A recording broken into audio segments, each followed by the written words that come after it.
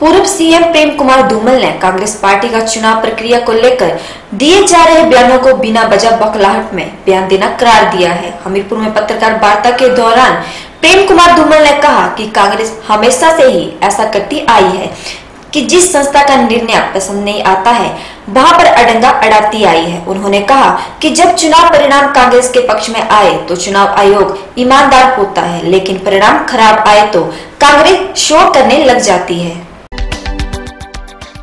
पूर्व सीएम प्रेम कुमार धूमल ने कांग्रेस पार्टी का चुनाव प्रक्रिया को लेकर दिए जा रहे बयानों को बिना वजह बोखलाहट में बयान देना करार दिया है। हमीरपुर में पत्रकार वार्ता के दौरान प्रेम कुमार धूमल ने कहा कि कांग्रेस हमेशा से ऐसा करती आई है। जिस संस्था का निर्णय पसंद नहीं आता है, वहाँ पर अड़ंगा अड़ाती आई है। उन्होंने कहा कि जब चुनाव परिणाम कांग्रेस के पक्ष में आए तो चुनाव आयोग ईमानदार होता है, लेकिन परिणाम खराब आए तो कांग्रेस शोर करने लग जाती है।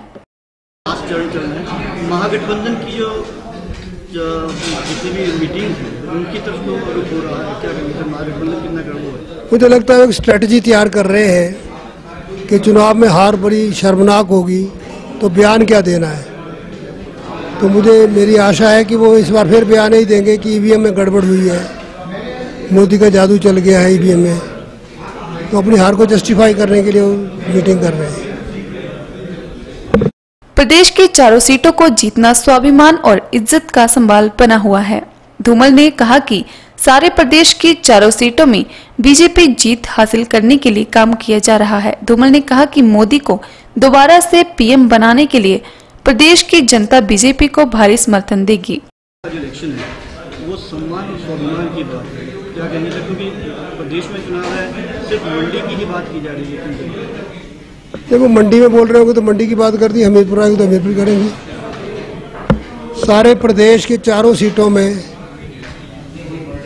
चारों पर ही स्वाभिमान और इज़्ज़त का सवाल है प्रदेश का।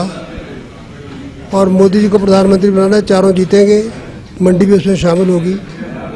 निश्चित तौर पर लोगों से स्थानीय तौर पर अपील करते हुए उन्होंने शायद ऐसा कहा होगा। बंगाल में हिंसा हो रही है। बंगाल में बीजेपी के काफिले पर हुए हमले पर धूमल ने कहा कि मरने मारने की लड़ाई बॉर्डर पर होती है और राष्ट्रीय अध्यक्ष के काफिले पर किए गए हमले की निंदा करते हैं। उन्होंने आशा की है कि आगे से कोई राजनीतिक पार्टी ऐसा काम नहीं करेगी।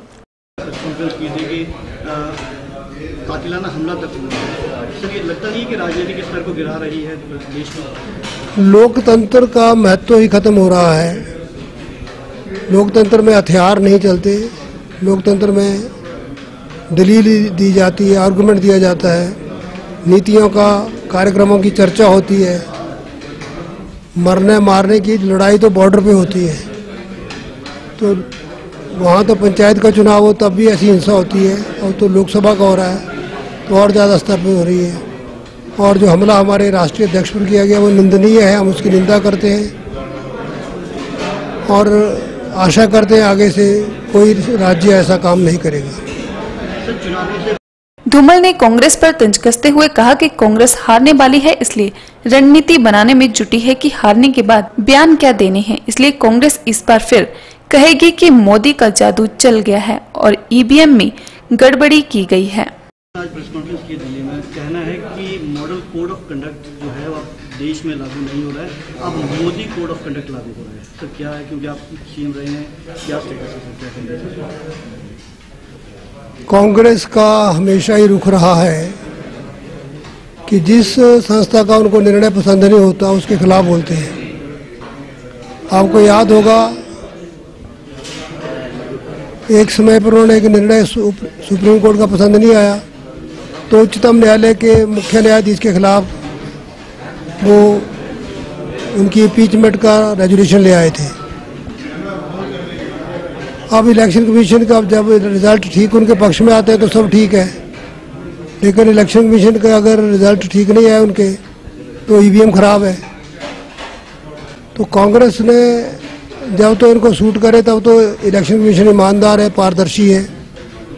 जब कोई निर्णय इनको सूट नहीं करता तो कह देते हैं कि मोदी का कोड ऑफ़ कंडक्ट लग रहा है। ये कांग्रेस की बौखलाहट है, उनकी पराजित होने वाली मानसिकता का प्रतीक है।